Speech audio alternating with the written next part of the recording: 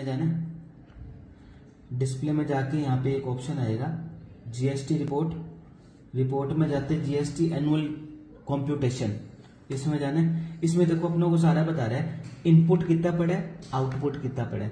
अब अपने पास input credit tax कितना पड़ा है? तीन हज़ार एक सौ अस्सी रुपए। तीन हज़ार एक सौ अस्सी रुपए साठ पैसे। आउटपुट ज़्यादा है कि इनपुट ज़्यादा है? आउटपुट ज़्यादा है। इसका मतलब अपनों को गवर्नमेंट को अलग से पे करने की ज़रूरत है। करनी पड़ेगी क्योंकि इनपुट कम है आउटपुट ज़्यादा है। तो इसकी एंट्री क्या करेंगे? जो अपना टॉपिक उसको क्या बोलेंगे?